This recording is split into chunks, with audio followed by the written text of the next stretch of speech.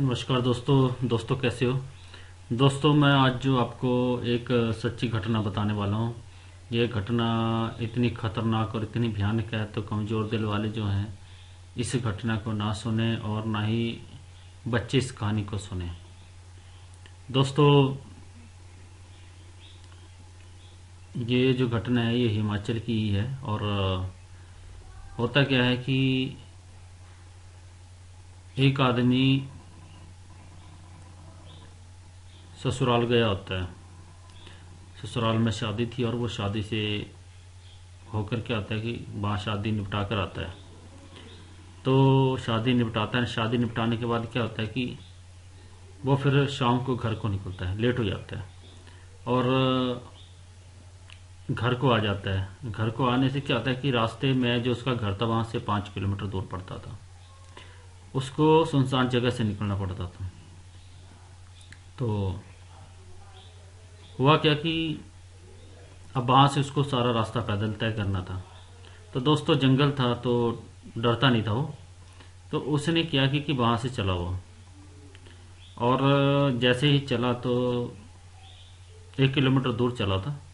एक किलोमीटर दूर के बाद क्या होता है कि कुछ नाले थे वहाँ पर जहाँ पर पानी वगैरह था और आगे पीछे शमशान थे शमशान घाट। और शमशान घाट के ऊपर क्या था कि अब उसको जो रास्ता था, उसको वहीं से निकलना था, गुजरना था।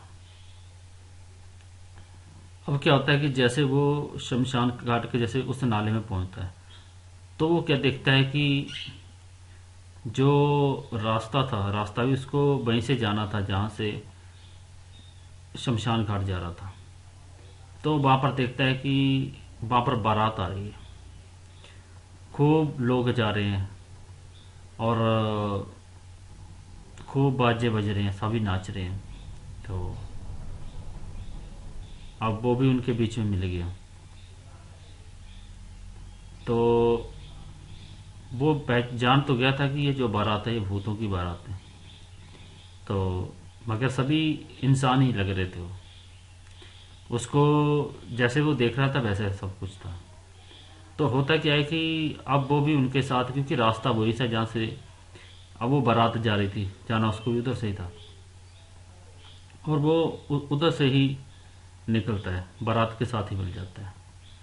होता है क्या दोस्तों कि आधे रास्ते में जाकर बारात वो रुक जाती है। उसका वहाँ पर वो खाने पीने का प्रबंध होता है। तो वहाँ पर वो, जो और भूत थे वो सारे बैठ जाते हैं। तो साथ में वो आदमी बैठ जाता है। तो होता क्या है कि दोस्तों कि जब वो खाना परोसते हैं तो खाना तो देखने में अच्छा लगता था कि बहुत अच्छा है, बहुत बढ़िया है अच्छा टेस्ट है। तो और अब क्या होता है कि बहुत सारे अब उसको भी खाना परोस देते हैं। और खाना परोसते तो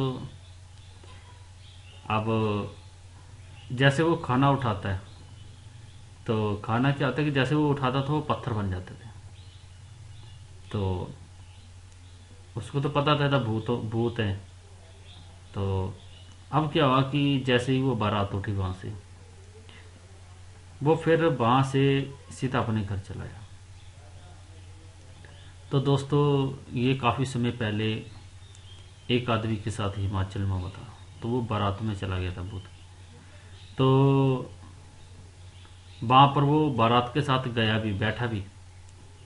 तो उसने देखा कि जो बारात, जैसे हम, हमारी बारातें जाती हैं, ऐसे ही उनकी बारातें जाती हैं। खूब बाजे होते हैं, खूब नगाड़े होते हैं, काफ़ी भूत प्रेत होते हैं। तो दोस्तों, वो बारात से, क्योंकि वो डरता नहीं था। अगर वो डर जाता तो मर जाता। दोस्तों, हमेशा इस चीज़ का ध्यान रखने कि, जब आप कहीं जंगल में अकेले जा रहे हैं, अगर आप डरते हैं तो आपको डर बहुत ज़्यादा लगेगा। मान लो कि, कई बार क्या होता है कि रात का टाइम होता है। और रात काफ़ी बारह एक बजे का टाइम मान लो, रात को। अब सुनसान जगह है। वहाँ मान लो कि कोई आदमी जा रहा है आपके आगे। तो आदमी क्या होता है कि आदमी आदमी से डर जाता है। अगर आप डरते नहीं हो, आप तो सीधे निकल जाओगे। दोस्तों, सभी ने इस चीज़ का ध्यान रखना है कि जब मान लो कि किसी सुनसान जगह पर आपको कोई आदमी मिलता है या औरत मिलती है सबसे पहले तो आपने ये नोट रखना है कि उसकी परछाई दिखनी है। उस भूत की परछाई है कि नहीं? और दोस्तों, अगर वो परछाई नहीं है तो समझ लो वो भूत है। और अगर परछाई है, परछाई आपको दिखाई दी है तो वो आदमी है। सब, सिर्फ़ आपने ये चीज़ नोट करनी है, और कुछ भी आपको नोट करने की ज़रूरत नहीं। अगर मान लो कि वो भूत है, और परछाई नहीं, वो आपके आगे जा रहे हैं। तो आपने कुछ नहीं कहना है। ना करना है। आपने सीधा अपने रास्ते में चले जाना है। उसको कुछ नहीं कहना है। और अगर वो आपसे कुछ माँगता है, कहता है तो आपने ना उसके साथ बोलना है। चुपचाप निकलना है। अगर बोलता है, इशारे में समझा दो, ठीक है।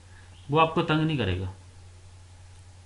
अगर तंग करता है तो दोस्तों वो एक पंच, आदमी पंचभूत होता है और भूत एक एक भूत, हवा होती है आदमी के अंदर पंच तत्व होते हैं। अग्नि, मिट्टी, वायु, आकाश, जल, ये आदमी के अंदर है। उसके अंदर कैसे वो वायु है? वायु हमारा, अपने लिए शरीर ढूंढती है। अगर आपके, आपने देखा होगा कि भूत जैसे दिखाते हैं मूवीज़ में दिखाते हैं, वो किसी भी दीवार को क्रॉस कर लेते हैं तो वो हवा है, हवा कहीं से भी निकल सकती है। दोस्तों, जो आज मैंने कहानी बताई, अगर ये कहानी आपको अच्छी लगी है तो प्लीज़ वीडियो को लाइक करना शेयर करना और चैनल को ज़रूर सब्सक्राइब करना। जय हिंद, जय भारत।